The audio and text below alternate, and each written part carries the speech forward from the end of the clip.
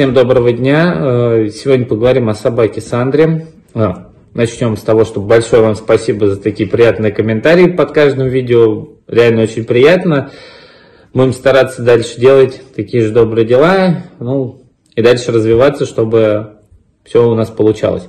Э, поговорим о Сандре. Сандра поступила к нам с травмой морды, у нее отсутствует половина нижней челюсти, достаточно старый дефект. Старый в каком плане, как э, было сказано, сказано Наталье, когда ей привезли ее люди, то есть около четырех дней с таким дефектом собак находится, имеются некротизирующие участки, на видео очень хорошо это видно.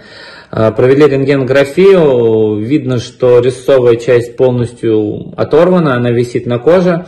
Вот, какая-то часть челюсти отсутствует, это, видимо, были мелкие фрагменты, которые просто отпали. На данный момент по состоянию пациента можно сказать о том, что собака стабильно тяжелая. Почему стабильно тяжелая, как это интерпретировать? Тяжелая в том плане, что у собаки имеется серьезная достаточно травма. Стабильная это значит, она не ухудшается, не улучшается ни в какую сторону. Она стабильно находится в одном состоянии. То есть собака принимает пищу, это уже хорошо, ее можно покормить со шприца. То есть э, проблем с кормлением сейчас на данный момент никаких нет. Э, возможность дать попробовать собаке полакать какую-то еду пока не представляется возможности по той причине, что у нас э, лишние вот эти дефекты, куски э, некротизируемых тканей висят, их нужно обязательно убрать. Сегодня мы этим будем заниматься, мы зачистим первичную, сделаем хирургическую обработку вот этих фрагментов, назначим систематические антибактериальные препараты, по необходимости будем принимать решение о заборе именно посевов, чтобы при пластике, который мы будем выполнять, э, никакой инфекции там не осталось в дальнейшем. Вот. Э, что говорить по поводу первичных анализов? Сейчас будем собирать также полный спектр анализов, связанных с э, планированием предоперационным. Это биохимия, обязательно вообще анализ крови. Так как собака уличная, заберем анализ на кровопаразитов, так как сейчас самый пик пироплазмоза, так называемый бабезиоза. И обязательно тест на парву, это один из важных пунктов, потому что собака судится. А, вот. По прогнозам на данный момент мы это уже обсудили. А, у нас главное сейчас, э, чтобы собака могла самостоятельно употреблять пищу, то есть такие пациенты, у которых имеются проблемы, дефекты нижних челюстей, особенно у собак. У кошек все достаточно специфично, у собак э, они могут лакать жидкую еду и, в принципе, себе неплохо жить. Э, вопрос в том, что у собаки имеется повреждение кончика языка, основной части, которой животное захватывает еду. Вот, и в этом случае у нас есть определенные пока осторожности.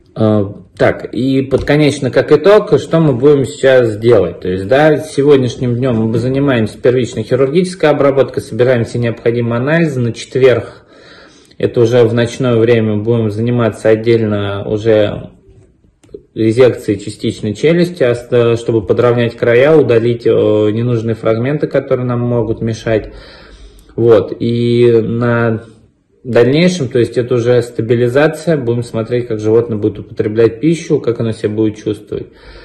Вот, будем надеяться, что проблем никаких особо сильных не возникнет, и собака все-таки будет жить, потому что, как я уже сказал, прогнозы на данный момент пока осторожные, но шанс у нас есть. Все, спасибо всем за внимание, э, будем дальше информировать вас по поводу данной собаки.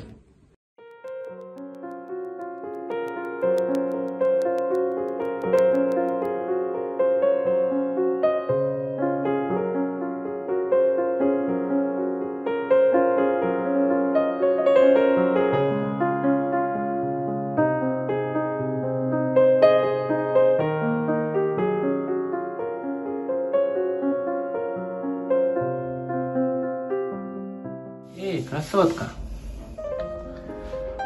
Красотка.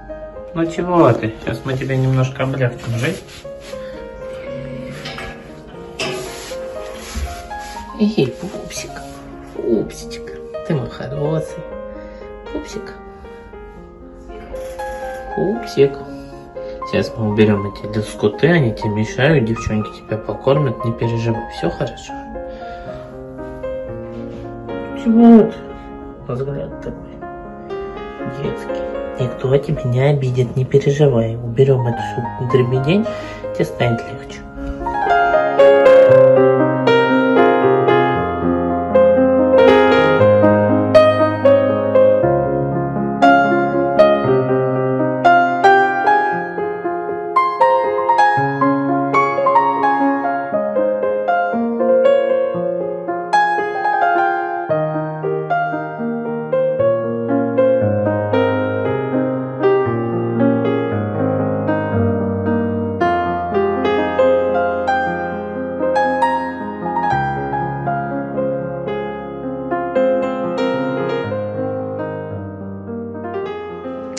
С вами волонтер бездомных животных Наталья.